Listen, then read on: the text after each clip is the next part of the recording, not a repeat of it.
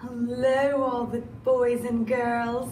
I'm Astig Hadavar, your spectral librarian of the macabre. And we're here to sing songs that'll startle and read books that are strange. Welcome to the strange and startling story times. Five little monsters jumping on the bed. One fell off and bumped his head. Mama called the doctor, and the doctor said, No more jumping on the bed. Four little monsters jumping on the bed. One fell off and bumped her head. Mama called the doctor, and the doctor said, No more jumping on the bed. Three little monsters jumping on the bed. One fell off and bumped his head. Mama called the doctor, and the doctor said, No more jumping on the bed. Two little monsters jumping on the bed. One fell off and bumped her head. Mama called the doctor, and the doctor said, No more jumping on the bed. One little monster jumping on the bed. One fell off and bumped their head. Mama called the doctor, and the doctor said, No more jumping on the bed. Zero little monsters jumping on the bed. All are asleep. Ah, in their bed. The itsy bitsy spider climbed up the water spout. Down came the rain and whooshed the spider out. Out came the sun and dried up all the rain. And the itsy bitsy spider climbed up the spout again. Oh, hi, big round spider. How are you? I'm good. It's just you always sing about itsy bitsy, and I like climbing spouts too. That's a good point. Would you like to climb up a spout? Yes, yes, very much. All right, let's sing about how big round spider goes up the water spout. The big round spider goes up the water spout. Out comes the rain and swoosh the spider out.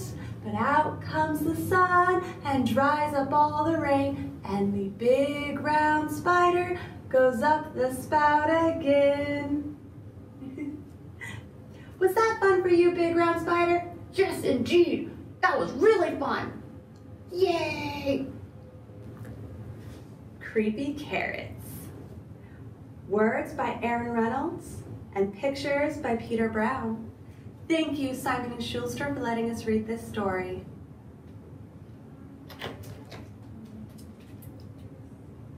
Jasper Rabbit had a passion for carrots. And the carrots that grew in Crackenhopper Field were the best. They were fat, crisp, and free for the taking. Some of the best qualities you need in carrots.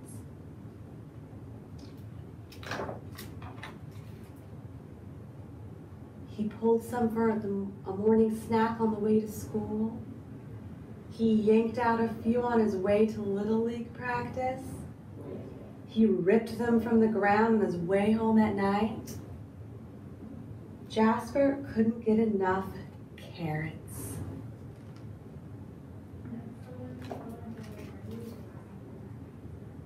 That was until they started following him. Dun dun dun.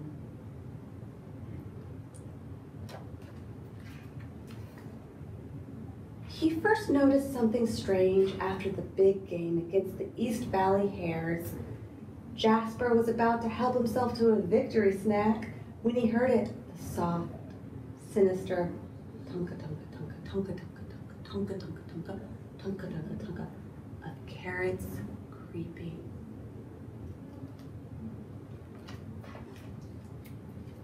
He turned, but there was nothing there. Just my imagination, he thought. But he hopped a little faster.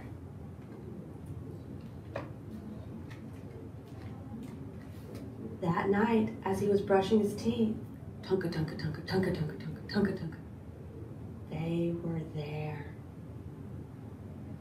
Jasper whipped around, but nothing. He laughed at himself. picked a toothbrush off the floor, and went to bed quickly.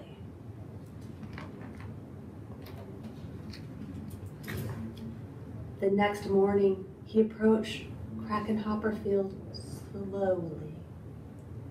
He reached for two wild carrots. Nothing happened. He bit into one. Nothing happened. Whew. Creepy carrots. It was ridiculous, right?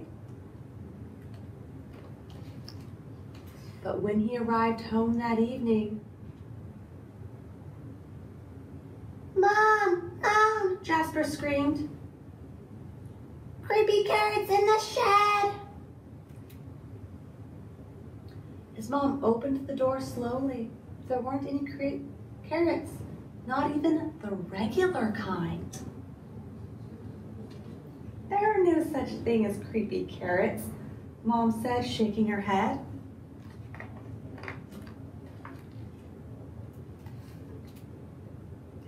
Later that night, as Jasper lay in bed, he heard it tunka tunka tunka tunka tunka tunka.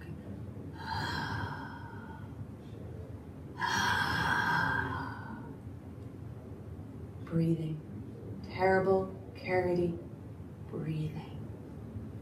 And there, on the wall,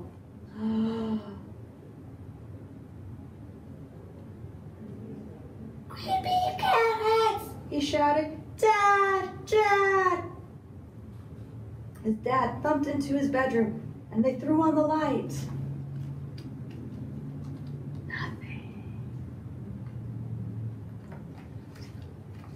They searched under the bed. No creepy carrots. They looked through the closet. No creepy carrots. They opened the dresser drawers. No creepy carrots. Just a bad dream, son. His dad said, shaking his head. Now go to sleep. And that wasn't going to happen.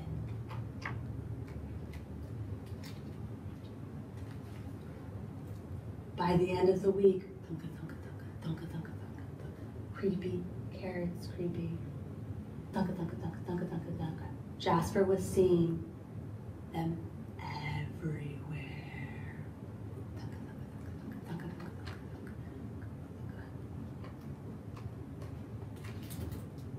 Jasper knew his parents were wrong. Creepy carrots were real, and they were coming for him. But they couldn't get him if they couldn't get out. I think Jasper just had an idea. Jasper hatched a plan. First thing on Saturday, he grabbed supplies and headed to Crackenhopper Field. He laid down a perimeter wall. Then he dug out a moat. He filled the moat with water. Then he cut some wood and he created a fence. As the sun finally set across Crackenhopper Field, Jasper Rabbit smiled. On his way home, there was no thunka thunka thunk. There was no carrot shaped shadows. His plan had worked. No creepy carrots would ever get out of that carrot patch again. He built the wall. He built the moat. He put the alligators in it. This plan was foolproof.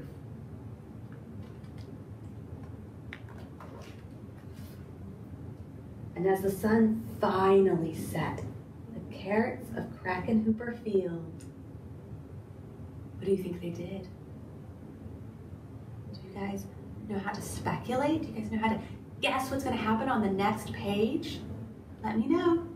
What is happening next? What will the carrots do?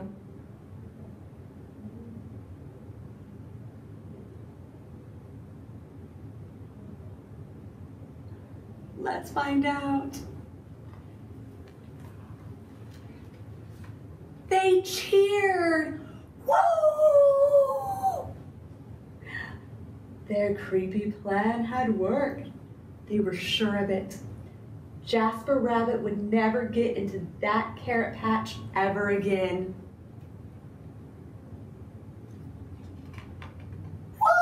Woo! The creepy carrots did it. The end. And that was Creepy Carrots. Words by Aaron Reynolds, pictures by Peter Brown. Thank you, Simon Schuster.